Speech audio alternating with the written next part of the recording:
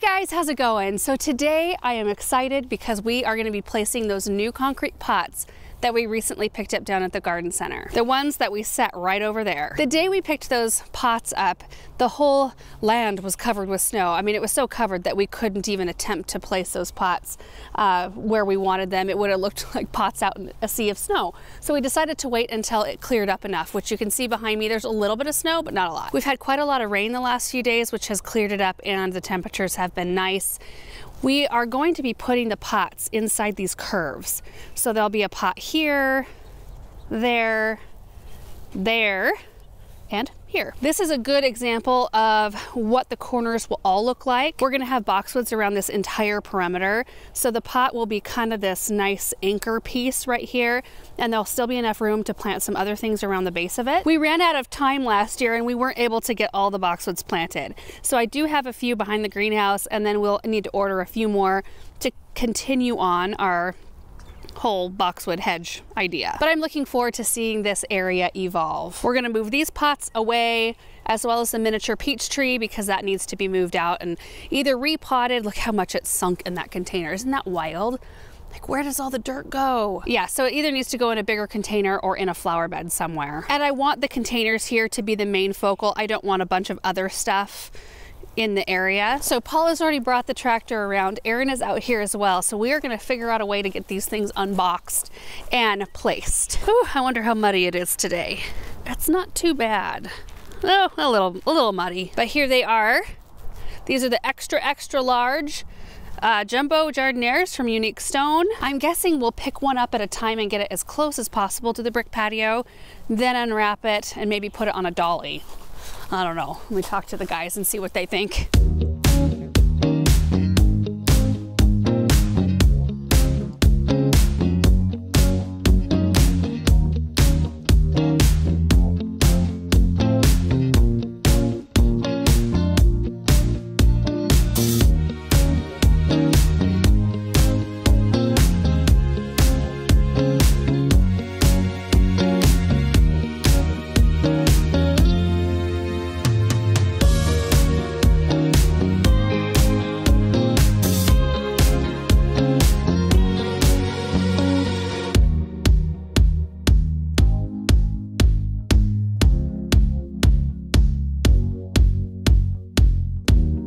You guys made that look pretty easy.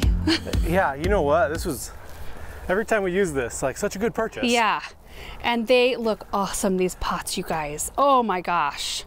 They're the perfect scale. They'll look a lot better in the season when things are green. Well, everything does. Yeah. So now we are going to move these containers and we're going to put these two at the end of the stone pathway up front where I planted those yews really late in the season. It's kind of the perfect opportunity because I wasn't sure if I wanted to go all the way to the lane with yews, if I could get my hands on more of those, or if I wanted to flank the path pathway with pots. And since we need to put these somewhere, might as well put them up there and see if we like them there. And then I think we'll just pop the sedum pot and the peach pot somewhere else near a hose so we can make sure to keep them watered until we figure out what to do with them. We need to pick out a water feature or something for this space. Yeah, we do. Yeah. Also, I think once we have the boxwoods in, it will all look so put together. Yeah. Because over here, it looks awesome like this. Oh, this looks so good right here. We're going to, in a minute, once we're all done moving pots, we're gonna center each one of these and put drip up through the center of each container and just get them real set and leveled.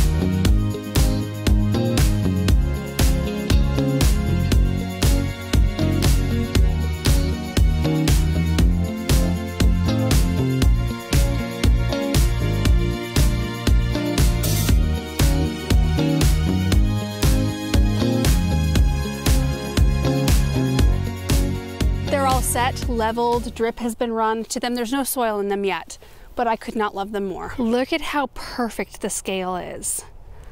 I mean, I'm gonna just slowly pan around here.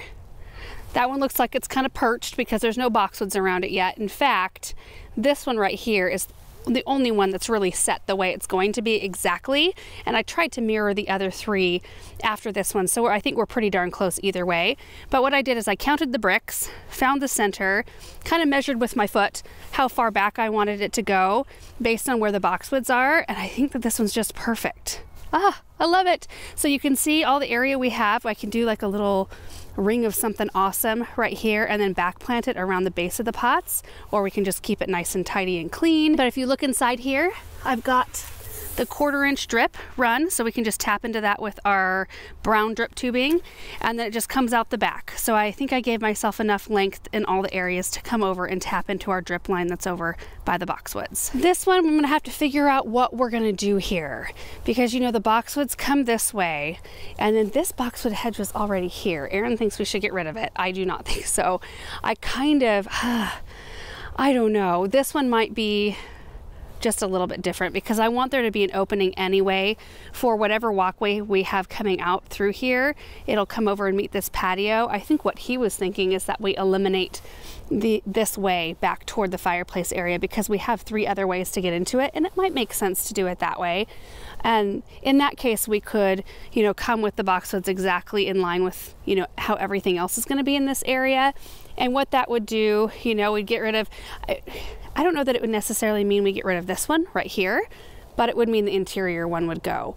At least, ah, you know, I don't know, at least up to here, and maybe we, you know, plant something to where it goes this way. Because you know not very far away we have that opening to get in here we have this opening and we have that opening. I just use this one a lot. I find myself walking through here quite a bit so I may not work this out until we get the rest of it set, see how we use the space, and then we can make that decision. I mean, we're not in a giant hurry um, to get everything, you know, set in this area.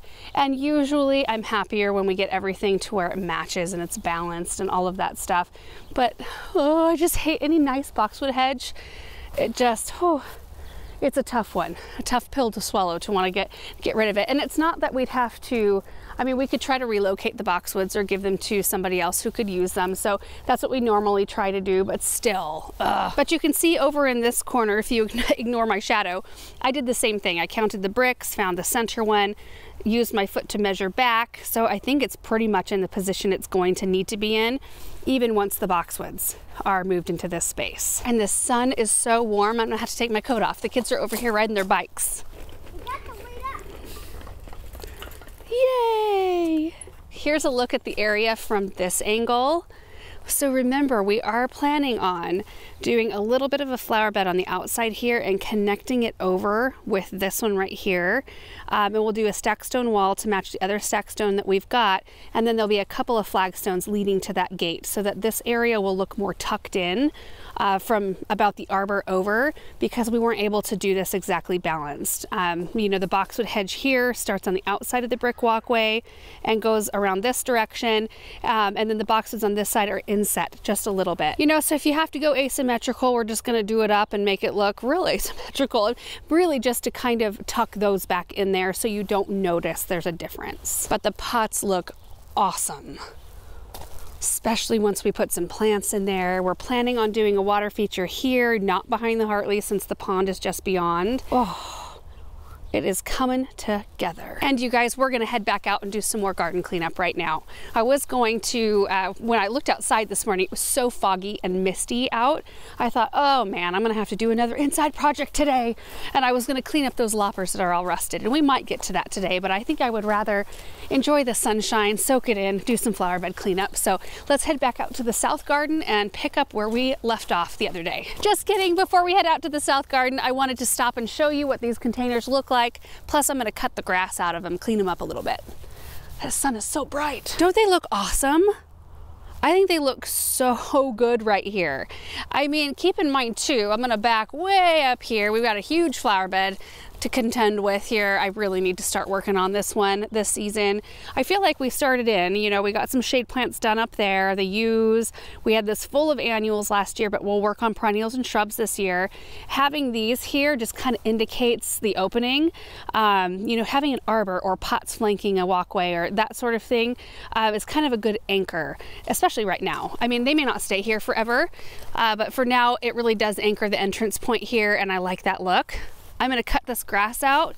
We planted, uh, uh, what was it? Is it Skyrocket Pennisetum? Is that a thing? Not the purple fountain grass, it's the one with the white in it. Skyrocket, right? It's an annual grass, so clearly it has died. There are white pansies and uh, ivy in here though. You can see the ivy right here. Not super big, it wasn't big when I planted it and it was fairly late. And then the white pansies, which, you know, cleaned up and a little bit of warmth and they'll bounce right back. You got a bloom starting right there and they'll look real pretty for spring. So let's clean these up.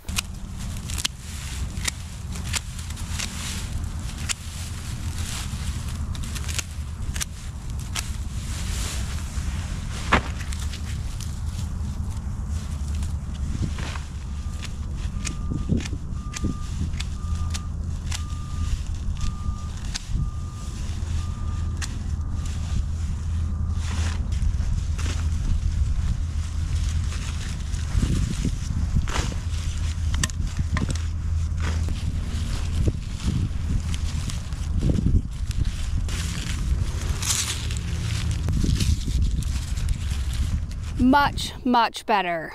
Once it warms up just a little bit, I'll probably come out, dig out the grass in the center and replace it with something different. Maybe we'll pop some ranunculus in there or something like that. I think that'd be really bright and fresh looking. Now out to the south garden. Okay, here we are. This is the flower bed we just tackled. Got that all cleared out, cleaned up. It's looking really nice. Uh, we only made it to the stone pathway though before I ran out of time and space in the gator. I had filled it completely full. So we're going to pick up right here and just keep on uh, cleaning up perennials, cutting back Artemisia, cutting back ornamental grasses. We've got some sedum in here I'll cut back and uh, Veronica. So this little area is going to be super quick. And when we're done with that side, we're going to start in on this side and do pretty much just the same thing. Cut back the hydrangeas, clean those up, thin them out cut back Russian sage. There's Heliopsis in here. That'll be a cut back. Ornamental grasses that are kind of flopping. Echinacea. There's more Nepeta in here. The Arctic Fire Yellow Dogwoods. Highly recommend. Highly, highly recommend this plant. Oh, they have been such a bright spot out here. I just, look at that. I mean, I just love them. I love, I don't want to say I love them more than the red ones but I, I really love them. And you remember we've got the red ones over here on the other side, but they haven't been in the ground as long as the yellow ones have been. Also, I do keep the gator out here on the gravel and just haul my loads to the bed of it because we try to stay off the grass as much as possible, especially when it's super soggy and the grass is dormant, because that's when you start getting tire marks and wear marks. I mean, you can even see, I walked out here one day when the grass was frosted uh, to get some pictures and you can see my footprints because it just mashes the grass down and it takes it longer to recover. So we try not to do that. Okay, here we go. Coat's coming off.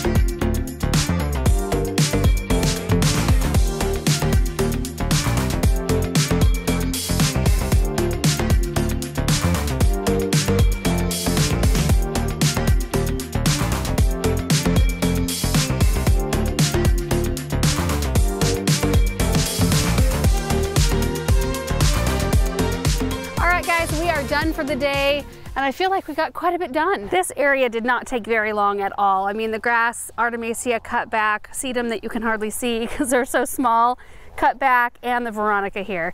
Also pulled some weeds that were in this area. I can't even believe the amount of weeds that are already showing up in our garden. And then starting at the beginning of this flower bed, we got the hydrangeas cut back and thinned out.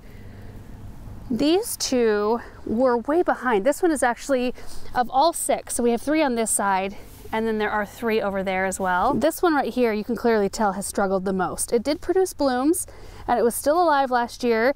Uh, we put some uh, chelated iron around it, so I'm hopeful that it kind of rebounds this year, but it's definitely smaller than the others. Cut back a sedum that was over there as well as all the Russian sage and the Heliopsis. I did a kind of a cleanup job with the rake. All those leaves that are matted down could certainly stay and they are really good for your soil if you can let them stay but we have had such a problem with thrips and primarily in the cut flower garden, which is really close by, that I don't want to leave a whole bunch of overwintering, possibly overwintering insects in debris. So I'm not leaving a tremendous amount. I'm leaving some just because I'm not going to pick every single leaf off the ground, uh, but I am cleaning them up. Looks good to have those ornamental grasses. Those are panicums.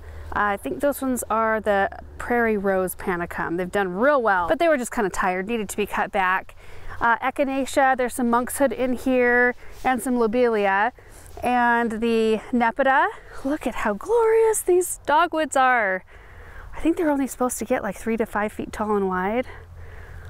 I'm kind of gonna beg to differ on that. I mean, this one from tip to tip is like, I don't know, 10 feet.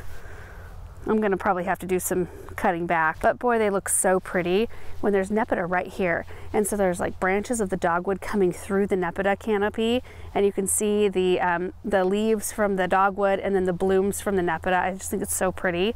And then there's a rose called Cream Veranda right here that I kind of cut back a bit and thinned out. This one is, I think it stays like one and a half by one and a half or close to, close to that size. And it has the most beautiful creamy white roses. And then I do have a buddleia here that typically you don't want to cut them back until later on in the season, but it was huge. So I just cut it back a little bit just to kind of clean it up. And then I'm going to come in later once it started to leaf out and I will take more off of it. I'm really encouraged though because this year, or last year rather, this plant died all the way back to the ground. But this year it's already got like fresh leaves, like leaves that are still really nice all over on this plant. Cut back the Monarda that was right here, and that's kind of where I stopped on this side. I'll come in later and do all of the fine tuning leaves underneath the dogwood or not. That might be an area we just let them be. And then I hopped over the stone walkway here and just cut back a couple things until I could fit to nothing else in the gator. A couple sedum right here. This is the Drops of Jupiter oregano and it has already started to spread. I planted this last year. It's actually too big to be right up here in the front unless I keep packing it back, which might be something I do. Uh, but it was planted right here and it's already like rooting in and spreading out all over the place. So keep that in mind. It's a beautiful plant though. And then I cut back the serendipity alliums, which I do want to move. Probably I'll leave these four and I'm going to move two, four, six of them because they just, I mean, you saw how tall they are. A little too tall for the front of a border for me. So I kind of want to keep those back in there and then come in with something a little bit shorter right in this space. And this is where we're gonna have to pick up next time. Uh, we've got some echinacea and sedum in here. Uh, there's some Amsonia, hydrangea, a hibiscus. Gosh, what is that? I cannot remember what that one's called right in there got a really interesting bloom. I feel like we made a pretty good dent today. If we get more weather like this, we're gonna be able to move through the flower beds out here really quickly. But I am seeing more and more things that I need to put on my list. I need to spray the fruit trees. I need to prep the raspberry beds and get those ready to go for the season. They need to be thinned out. And we are gonna have to start our weeding regimen probably early. And I think that's one of the best things you can do in your garden so that you're not overwhelmed later on. If you can stay on top of the spring boom of weeds, it's gonna thin them out so much and you'll have so much less to do later on in the season. also, zoning your garden is really helpful. It was helpful for me. We've done videos on it uh, before I used to have our garden broken up into sections. This is before we had help. You know, we have Paul uh, helping us full time here in the garden, and Bethany comes in part time to help us out now uh, because it's just, it's too much. I would not be able to do this all on my own. We have really good help to help us out here. Um, but before we had that help, I had our garden broken up into different zones so that I knew that every section of our garden had its day. And that way I could compartmentalize and it didn't overwhelm me. If I knew there was a bunch of weeds in another zone in the garden, I didn't even think about it because I, I knew I was going to address it maybe two days from then or three days from then. And I just focused on the zone at hand. And if I would address each zone once a week for weeds, I just go in and just do that zone. It wouldn't take me very long and I, I stayed on top of it. And if you do that, that the rest of the season is just so much more pleasant. It was for me anyway. I mean, that was during the time where I was still working down at the garden center and trying to do videos and trying to take care of the landscape 100% myself minus the grass. Always has done that. And it was a lot. Anyway, all that said, thank you guys so much for watching this video. I hope you enjoyed more clean out. I think it's gonna be a lot of that here over the next little bit. We do have a few rainy days on the forecast though, so we might have some inside projects during those days. But anyway, thank you so much for watching and we will see you in the next one. Bye.